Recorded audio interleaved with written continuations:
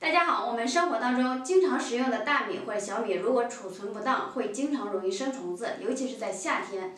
那么今天给大家分享一个小妙招，可以有效的避免米生虫子。下面让我们一起来看一看，避免我们的米生虫子。首先我们需要准备准备一条纱布，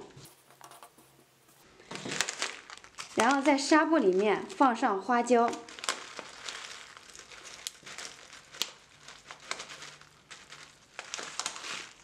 将花椒包起来，因为纱布的透气性非常的好，这样的话它的气味容易消散出来。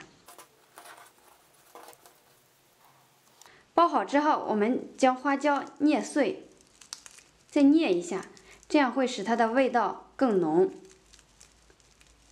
保持的时间会更长一些。我们用绳子将它包裹起来。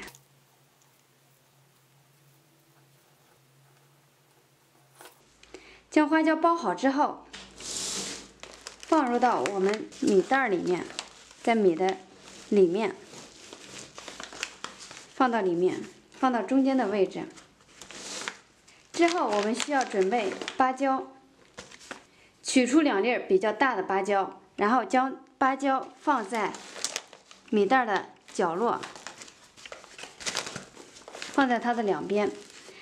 这样它的气味很容易避免我们的米生虫子，而且这个方法是老一辈流传下来的经验，非常的有效。米吃完了之后，我们同样还可以将里面的调料用来食用，是不是非常的不错呢？好了，今天就分享到这里，希望这个小技巧可以帮助到大家。更多精彩，请关注灵动生活，再见。